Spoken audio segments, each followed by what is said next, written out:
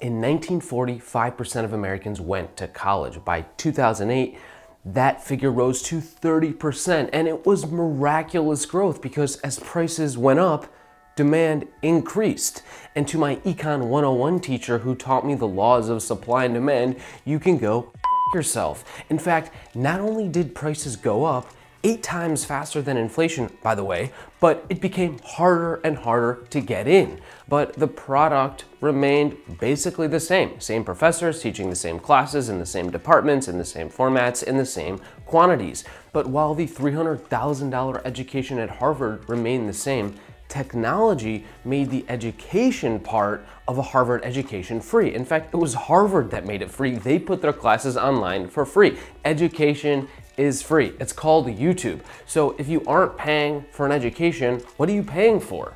Well, you're paying for a piece of paper, a credential, a shiny line item on your LinkedIn profile that grants you access to a caste. It's the caste system we all know, love, hate, and worship in America called higher education, not defined by an ancient religion, but by the name of a racist white guy who collared his slaves on the weekends. That's right, folks. For this sticker price tag of $300,000, you too can slap an Elihu collar my slaves Yale, or just Yale for short, on your LinkedIn profile, which might even raise your profile strength to intermediate. Hey, LinkedIn, go as well. And the narrative has always been it's worth it. It's worth three $300,000 price tag. And they show you the return on investment charts. College graduates have lifetime earnings much higher than non college graduates.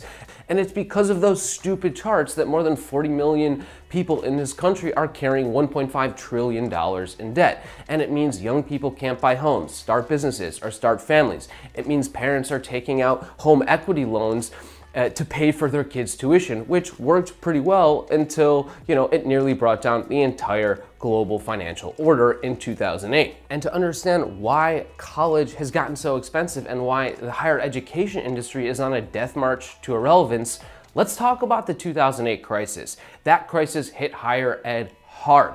Endowment returns plummeted 20% down in some, in some places. Private donations dropped 10, 20%. Public funding to higher ed dropped 22% over the next five years.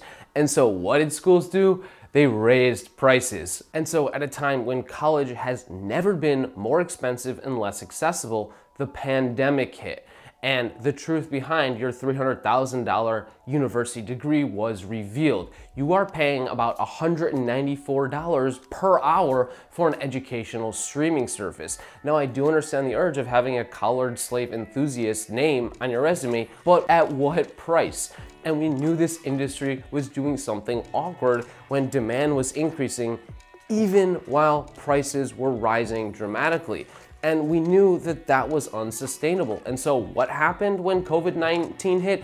It did to higher ed what it did to every other industry, which is that it accelerated trends pulling the future forward. What does that mean? More online shopping, online grocery, remote work, cashless payments, digital currencies, cord cutting, wealth and income inequality, and more of it, more online learning. All of these trends were already happening and their adoption has only been accelerated. And the same has been true in higher education. We knew this industry was headed on an unsustainable path and so what has happened since the pandemic? A 17% decline in freshman enrollment numbers, 50 to 80% drop in new faculty hires in the humanities and social sciences and even many STEM fields as well. And that's not because there's a 50 or 80% drop in people interested in history or anthropology or economics but it's because it just doesn't make sense to go $30,000 in, in debt, which is today's average. Which means for every rich kid that graduates debt free, there's a lower or middle income kid starting life with 75,000 suppositories shoved up his, her, or their fucking ass. Thank you so much for tuning into the channel. Until next time.